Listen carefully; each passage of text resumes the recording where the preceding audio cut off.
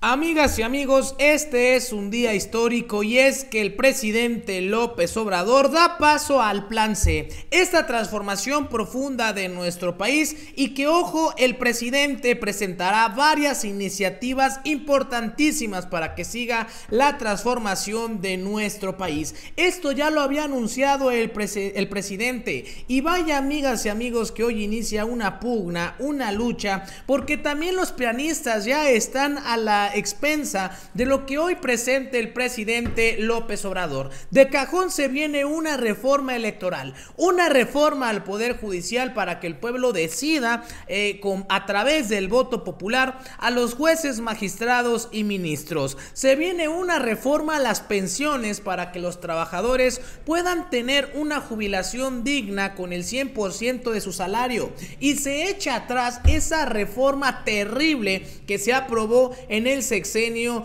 de Ernesto Cedillo que ha perjudicado principalmente a los jóvenes. Una reforma al salario mínimo para que amigas y amigos, los trabajadores puedan tener una cubila, una un salario pues que realmente pueda cubrir todas las necesidades que se tiene en una familia y que este aumente al menos la inflación, que ya no esté por debajo y lo que se busca con esto es que los mexicanos tengamos un mayor mayor poder adquisitivo. Una noticia que obviamente pues esto está dando mucho de qué hablar amigas y amigos y que obviamente pues tiene a los prianistas desesperados porque ojo se viene una lucha allá en la Cámara de Diputados y también de senadores pero hoy lo más importante amigas y amigos es esto que el presidente López Obrador pues ya está estará presentando y que ojo amigas y amigos estoy seguro en las redes sociales va a tronar.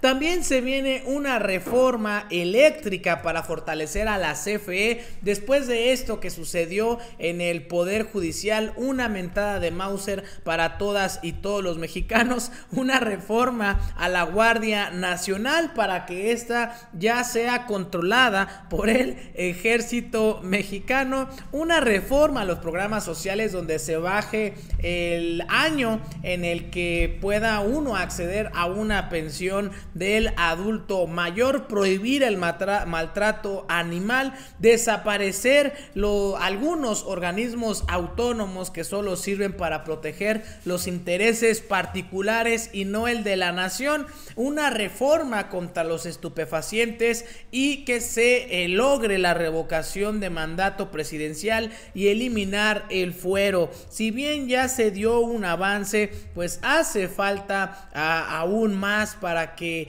eh, realmente se logre ese cambio profundo en nuestro eh, país. Eh, por eso es que el presidente pues eh, anunció desde un inicio que el día de hoy sería histórico por esta eh, presentación de las iniciativas y aquí una de las que toman mayor relevancia y, y más por lo que acaba de suceder es la reforma eléctrica que tristemente los ministros de la corte a través de chanchullo echaron abajo una reforma que fortalecía a la Comisión Federal de Electricidad y le quitaba el poder a esas empresas transnacionales. Y como les decía, pues aquí ya los ministros están pagando los platos rotos y es que ya empezaron las manifestaciones en la Suprema Corte de Justicia donde telefonistas y, electricistas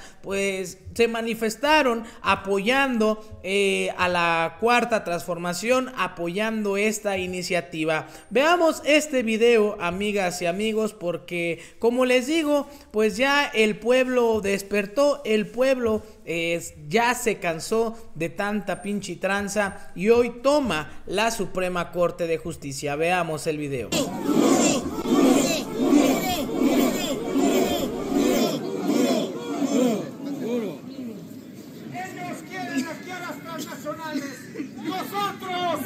Nosotros queremos regresar a trabajar. No las Jamás, jamás las hemos necesitado. Todo lo hemos hecho con la fuerza de trabajo de los electricistas, del Sindicato Mexicano de Electricistas. Todo lo hemos hecho nosotros, por varias generaciones. Nos echaron a punta de pistola para meter a las transnacionales. Y cuando el presidente quiere avanzar, estos cabrones que están aquí atrás no le.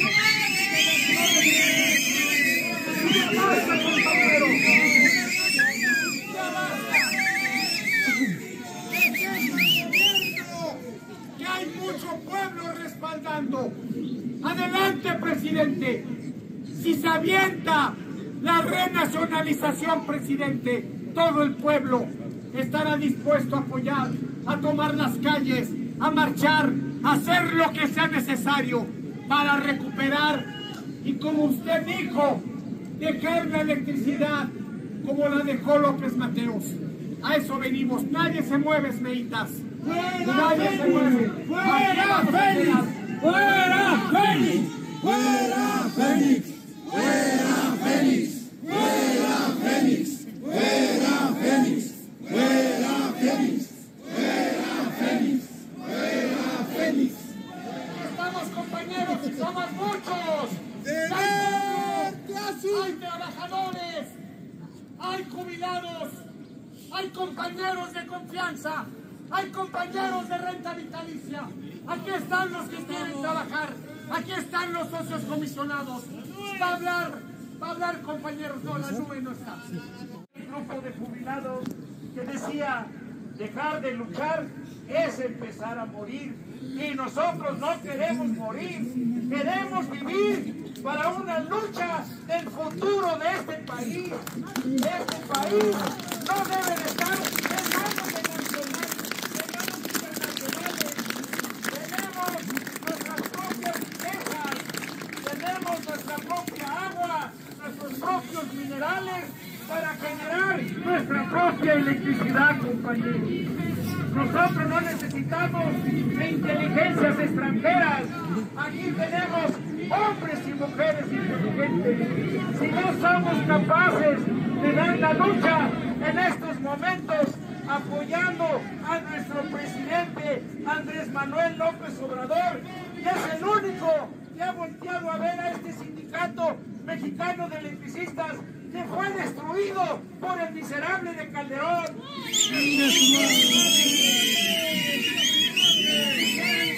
el dirigente traidor que hoy tenemos.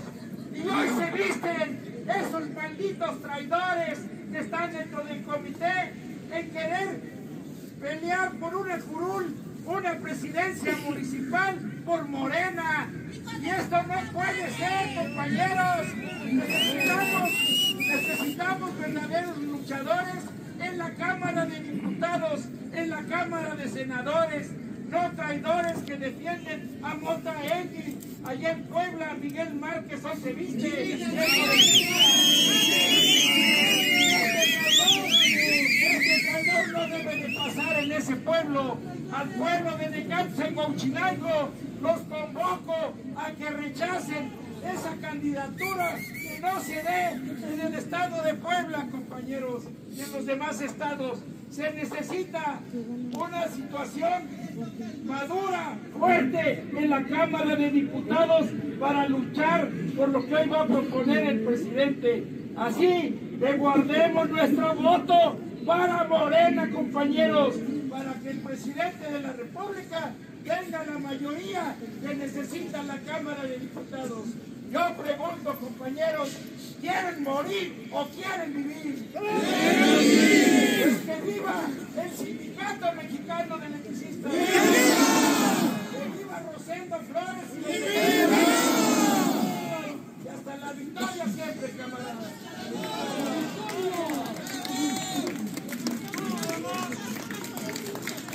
Venimos a tres cosas básicamente. Uno, a ratificar nuestro apoyo a la defensa del sector eléctrico, con la mm, puesta en marcha que acaba de aprobar la Suprema Corte para echar abajo las modificaciones que se habían obtenido ya en 2021 en favor del sector eléctrico para fortalecer a la Comisión Federal y recuperar parte del patrimonio que es de los mexicanos y que estos gobiernos neoliberales le fueron entregando a la oligarquía, estamos muy dispuestos a continuar la lucha apoyando las iniciativas de nuestro querido presidente, reprobando estas acciones de una... Pues ahí está, amigas y amigos, para que ustedes mismos se den cuenta cómo el pueblo pues ya despertó y están poniendo en jaque a todos estos eh, poderes, a estos pianistas que una y otra vez nos dan la espalda. Pero al final, ¿ustedes qué opinan? Déjenmelo aquí abajito en los comentarios.